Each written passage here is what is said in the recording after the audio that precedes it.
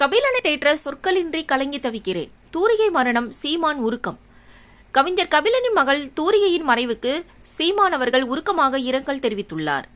பிரபல பாடலாசிரியரும் கவிஞருமான கபிலனின் மகள் தூரிகை நேற்று மாலை தற்கொலை செய்து கொண்டார். சென்னை அரும்பாக்கத்தில் உள்ள எம்எம்டிஏகே காலனியில் உள்ள அவரது வீட்டில் ஃபேனில் தூக்கிட்டு தற்கொலை செய்து கொண்டார் தூரிகை.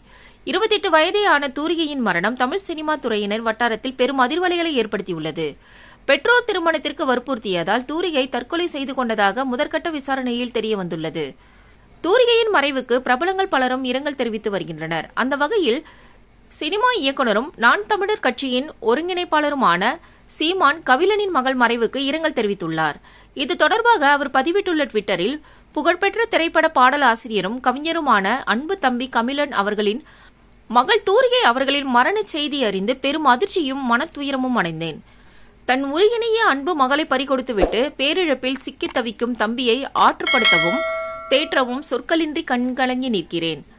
கொடுந்துயரில் சிக்கிக் கொண்டிருக்கும் தம்பி கபிலனுக்கும் அவர் குடும்பத்தாருக்கும் ஆறுதலை தெரிவித்து துயரத்தில் பங்கேற்கிறேன் என குறிப்பிட்டிருந்தார்.